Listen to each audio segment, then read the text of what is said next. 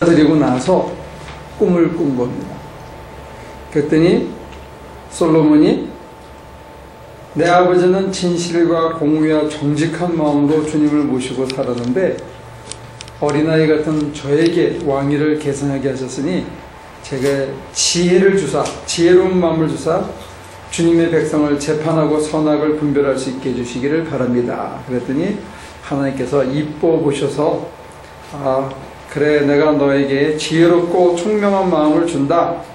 이와 같은 사람이 너보다 앞에도 없었고 네 뒤에도 없을 것이다. 또한 네가 달라고 하지 아니한 부귀와 영화도 모두 너에게 준다. 또한 내가 오래 살도록 해주겠다. 이게 꿈이야.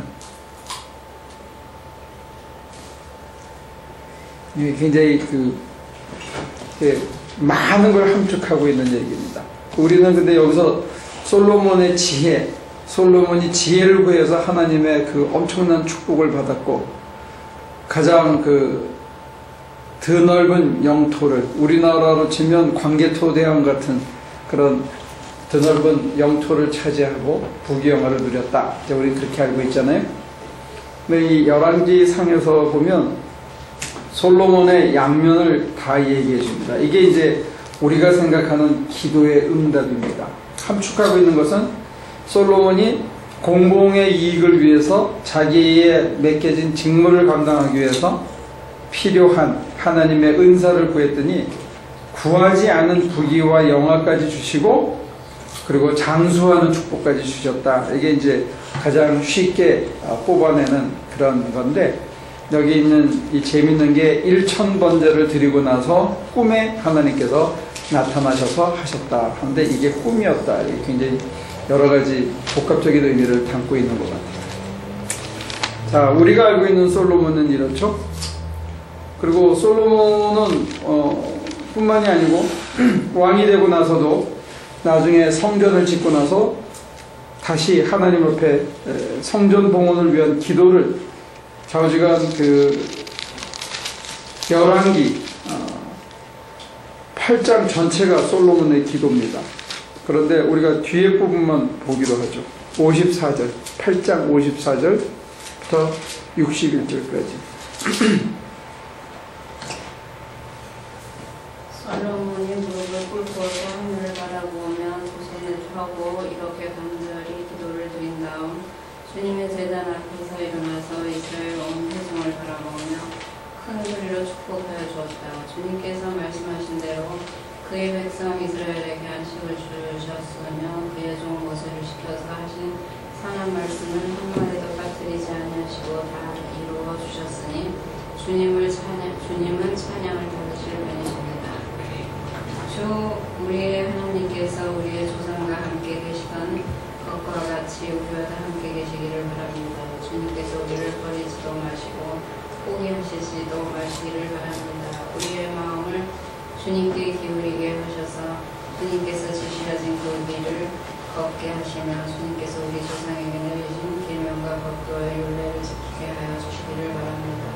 오늘 주님 앞에 드린 이 감과 기도를 주 우리의 하나님께서 낮이나 밤이나 늘 기억해 주시기 바랍니다. 하나님께서 주님의 종과 주님의 백성 이스라엘에게 날마다 그 형편에 맞게 자비를 베풀어 주시기를 바랍니다. 그렇게 해서 세상의 모든 백성은 주님만이 하나님이시고 다른 신이 없다는 것을 알게 되기를 바랍니다. 그러므로 그의 백성은 여러분도 주 우리의 하나님과 한 마음이 되어서 오늘날 오늘과 같이 주님의 법도들을 부르며 주님의 계명을 지키기를 바랍니다. 기도가 멋있잖아요. 이거 해달라 저거 해달라가 아니라 우리랑 함께 하시고 우리가 주님의 규례와 법들을 잘 지키게 도와주옵소서. 아주 구구절절히 기도의 정답을 얘기해 주고 있습니다. 그런 신앙의 고백뿐만이 아니고 62절부터 66절까지 보면 그 규모가 어마어마하다는 것을 알 수가 있습니다. 읽어보실래요? 62절부터 66절까지.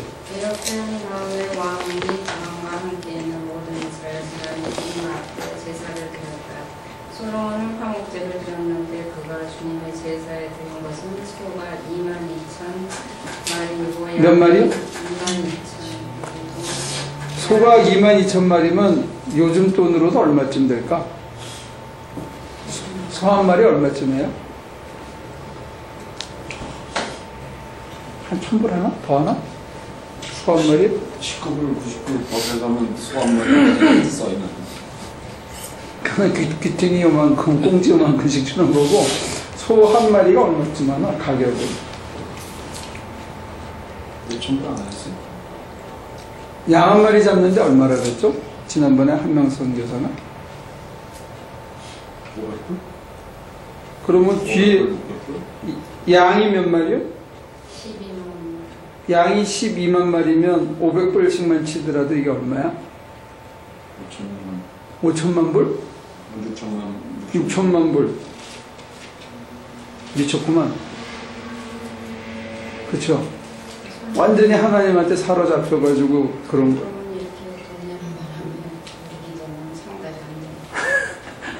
돈으로 따져서 우리는 잽이 안 되는 게. 야, 양을 몇 마리? 12만 마리. 소를 2만 2천 마리. 소 한 마리가 580만 원이에요. 580만 원에? 580만 원이면 얼- 몇 불이야? 5천 불인가? 5천 불좀 돼. 이렇게. 5천 불이면 2만 마리면 얼마야? 소 한 마리. 예? 소 2만 곱하기 5천 하면 얼마니? 250. 250. 1조 1학불 1억 불이에요? 1억 불이요? 꽤 받쳤네. 응? 2만에서 500을 곱하면 1억 불이네. 1억 불에다가 양이 여섯 얼마? 개에다가 1 천만. 10 밀리언이에요 10 밀리언 1밀리언. 10만 원. 소가 10 밀리언이고 천만 불이? 저거가 한 6, 6천 얼마 되니까 한 17 밀리언 어치 맞지 꽤 받쳤네, 그죠? 다 뺏은 걸 거 아니야 이게 어디 있어 궁전 안에 이런 게 있어요 지가 바쳤나? 아니, 이제 왕이 독점하고 자기 영토와 영지에서 자기 양을 키우기 시작했던 게 있지. 이게 군주제가 성립되면서. 그게 많겠어요? 글쎄 말이야. 근데 그거- 싸그리 다 잡았다는 거 아니야 그렇지 않겠지.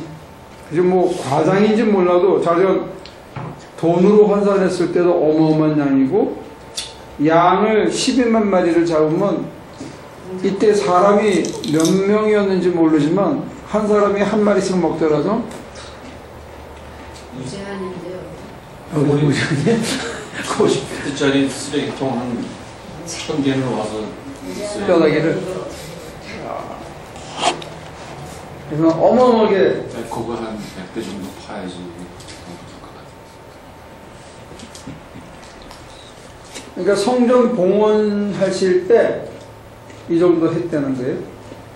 그리고 64절에, 이와 같이 해서 왕과 이스라엘의 모든 백성이 주님의 성전을 구원하였다. 그리고 바로 그날 왕은 주님 앞에 있는 놋 제단에 번제물과 곡식제물과 화목제물의 기름기를 담기에서 기름기를 담기 담기에는, 담으려면 너무 작았으므로, 담기에는 너무 작았으므로 주님의 성전 앞들 한가운데를 거의 구별하고 거기에서 번제물과 곡식제물과 화목제의 기름기를 드렸다.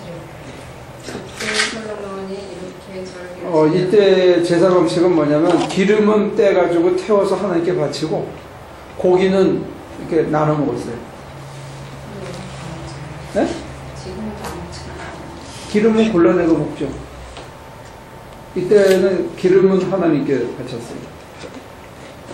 그- 그때 솔로몬이 이렇게 절기를 지켰는데 하마 거기에서부터 이집트 적경을 흐르는 이르는 넓은 지역에 사는 큰 대중인 온 이스라엘이 그와 함께 수리의 하나님 앞에서 이래 동안에 두 번씩 열방을 동안 절기를 지켰다. 둘째 이래가 끝나고 여덟째 되는 날에 그가 백성을 돌려보내니 그들은 만약에 복을 주고 주님께서 그의 종 발가 그 백성 이스라엘에게 베푸신 은혜와 은혜 때문에 진심으로 기뻐하며 행복한 마음으로 박사 상대 지도록 그 보름 동안에 이 고기를 다 먹는 거야. 한 사람이 한마디를 먹는 보름에. 저기 포로볼 화장실이 몇 개가 있었을까? 나는 제너럴 컨트롤트가 아니라 가지고 그런 자세한 계산이 잘안 나는데. 근데 이제 우리가 생각해도 이 어마어마한 거잖아요. 그런데 재미있는 거는 뒤에 누가복음에 한번 건너가 보면 누가복음 12장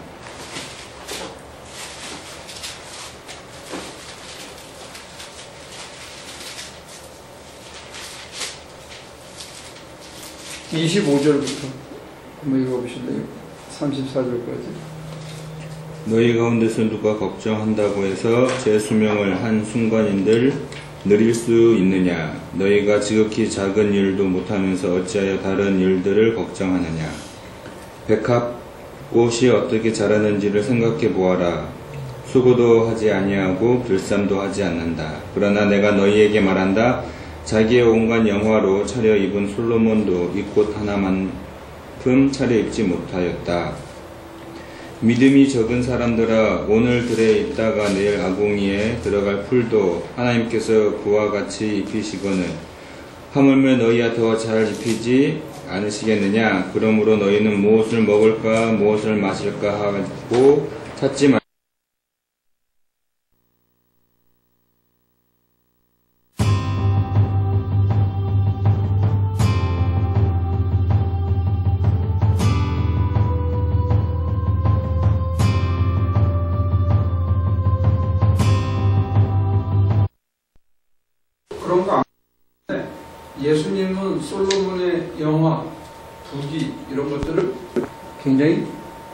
하찮게 보고 있습니다. 그 앞에 건너가면 누가복음 11장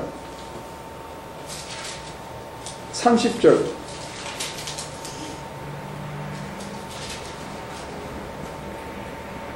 (30절) (31절) 한번 읽어보시겠습니까? 요나가 니느웨 사람들에게 표징이 된 것과 같이 인자 곧 나도 이 세대 사람들에게 그러할 것이다. 심판 때에 남방 여왕이 이 세대 사람들과 함께 일어나서 맞나요? 네, 계속 읽으세요.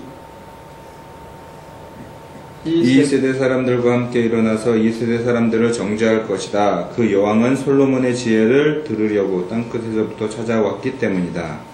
그러나 보아라 솔로몬보다 더 큰 이가 여기에 있다. 당신이 솔로몬보다 더 크다라고 솔로몬이 누린 영화가 들에 핀 풀한 송이보다도 더 제대로 차려입지 못했다 이렇게 힐난하고 계시거든요. 그러면 어떤 게 맞는 거예요? 일천번제 축복을 위해서 일천번제 드려야 된다 이렇게 교회에서 얘기하고 근자에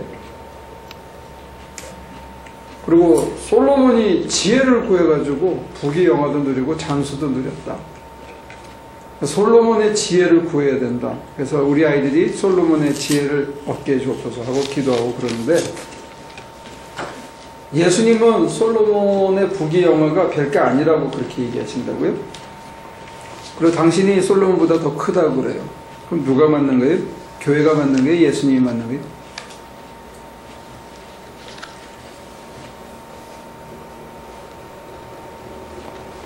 만약에 예수님이 맞으시다면 예수님은 왜 그러셨을까요? 지금 우리가 생각하는 기도의 아주 정수, 기도의 표본을 솔로몬이 다 했거든요.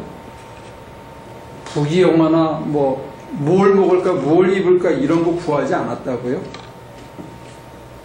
그리고 성전을 바치고 아까 보면 뭐 양을 20만 마리인가 소를 12만 마리 뭐 2만 몇천 마리 양을 12만 마리 이렇게 어마어마하게 바치는 그리고 온 백성이 모여가지고 보름 동안 제사를 지내고 성전을 바치고 이런 헌신을 했는데 왜 예수님은 솔로몬을 이렇게 폄하했을까? 왜 그랬을까요?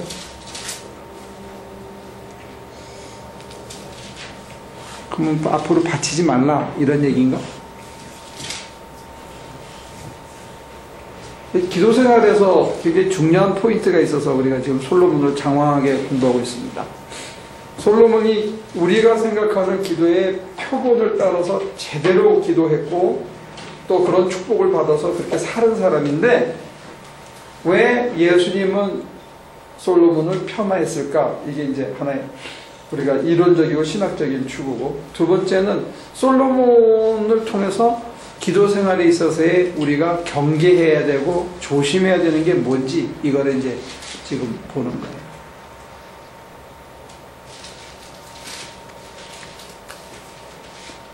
제대로 다 정답대로 기도한 사람인데 우리 주님 예수님의 눈에서 보면 이게 시원찮은 인간이다. 어찌 그랬을까요?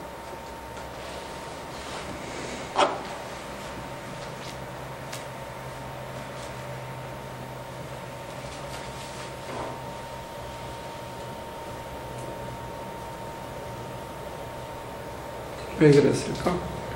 자칫 어, 겉모습만 보고 실질적인 솔로몬의 그 내면이라든가 하나님에 대한 사랑하는 마음을 안 보고 이제 외향적인 거 이렇게 해야 된다라는 그런 변, 변질, 변질된 그런 시대가 되었기 때문에 예수님이 그거를 이렇게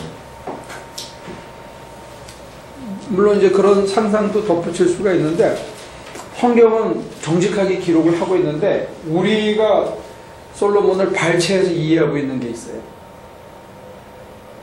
솔로몬의 그 밝은 면만 보고 솔로몬의 어두운 면은 우리가 안 보는 경향이 있다. 물좀 더 주시겠어요?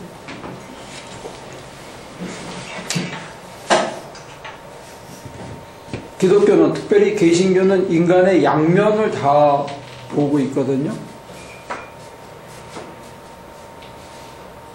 밝은 면과 어두운 면을 보고 인간의 시작과 끝을 총체적으로 이해하는 그런 걸 강조하는 경향이 있어요.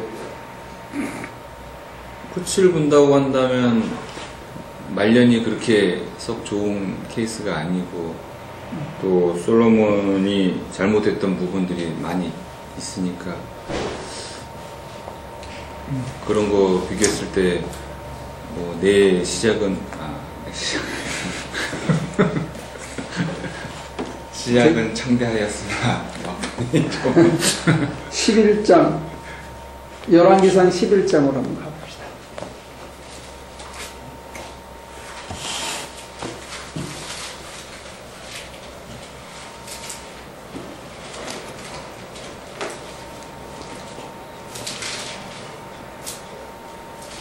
(11장 1절부터) 쭉 읽어보실래요? 솔로몬 왕은 외국 여자들을 좋아하였다. 이집트의 바로의 딸 말고도 모압 사람과 암몬 사람과 에돔 사람과 시돈 사람과 헷 사람에게서 많은 외국 여자를 후궁으로 맞아들였다. 주께서 일찍이 이 여러 민족을 두고 이스라엘 자손에게 경고하신 일이 있다. 너희는 그들과 결혼을 하고자 해서도 안 되고 그들이 청혼하여 온더라도 받아들여서는 안 된다. 분명히 그들은 너희의 마음을 그들이 믿는 신에게로 기울어지게 할 것이다 하고 말씀하셨다. 그런데도 솔로몬은 외국 여자들을 좋아하였으므로 마음을 돌리지 못하였다. 그는 자그마치 700명의 후궁과 300명의 첩을 두었는데 그 아내들이 그의 마음을 사로잡았다. 솔로몬이 늙으니 그 아내들이 솔로몬을 꿰어서 다른 신들을 따르게 하였다. 그래서 솔로몬은 자기의 주 하나님께 그의 아버지 다윗만큼은 완전하지 못하였다. 솔로몬이 시돈 사람의 여신 아스타롯과 암몬 사람의 우상 빌곰을 따라가서 주 앞에서 악행을 하였다. 그의 아버지 다윗은 주께 충성을 다하였다. 다하였으나 솔로몬은 그러하지 못하였다. 솔로몬은 예루살렘 동쪽 산에 모압의 혐오스러운 우상 그모스를 섬기는 산당을 짓고 암몬 자산의 혐오스러운 우상 몰록을 섬기는 산당도 지었는데 그는 그의 외국인 아내들이 하자는 대로 그들의 신들에게 향을 피우며 제사를 지냈다. 이와 같이 솔로몬의 마음이 주, 이스라, 주 이스라엘의 하나님을 떠났으므로 주께서 솔로몬에게 진노하셨다.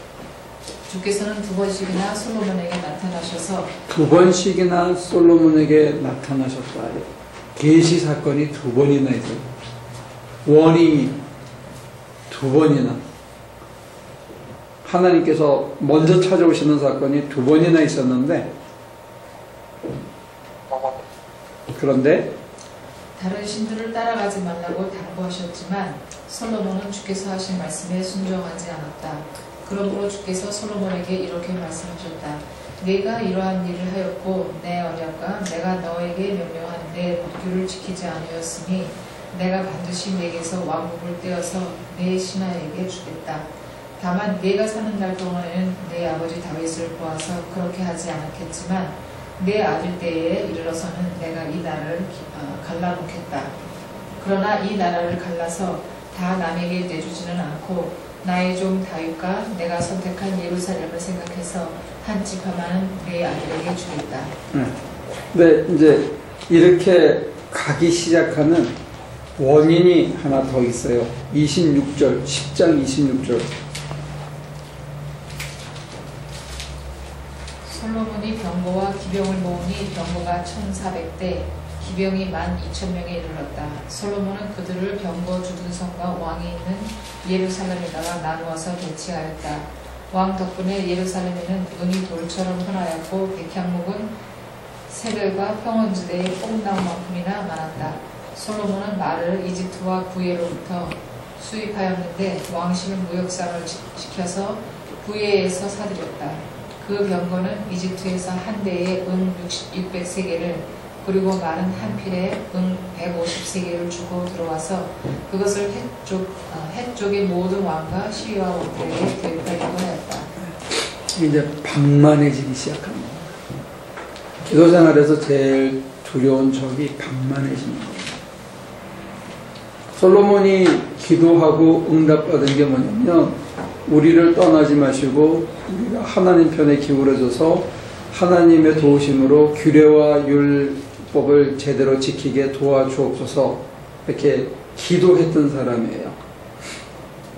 그런데 어, 방만해지고 여기서는 여자를 좋아한다는데 자기 좋아하는 기호에 빠진 거죠. 그러다가 이제는 어떻게 하느냐? 성전을 지어 바친 사람이 산당을 짓습니다. 이게 인간입니다. 성전 지어 바칠 수 있는 사람이 산당도 지어 바칠 수 있다는 이게 사람입니다. 지혜의 화신이. 그래서 기도 생활의 제일 무서운 적 중에 하나가 방만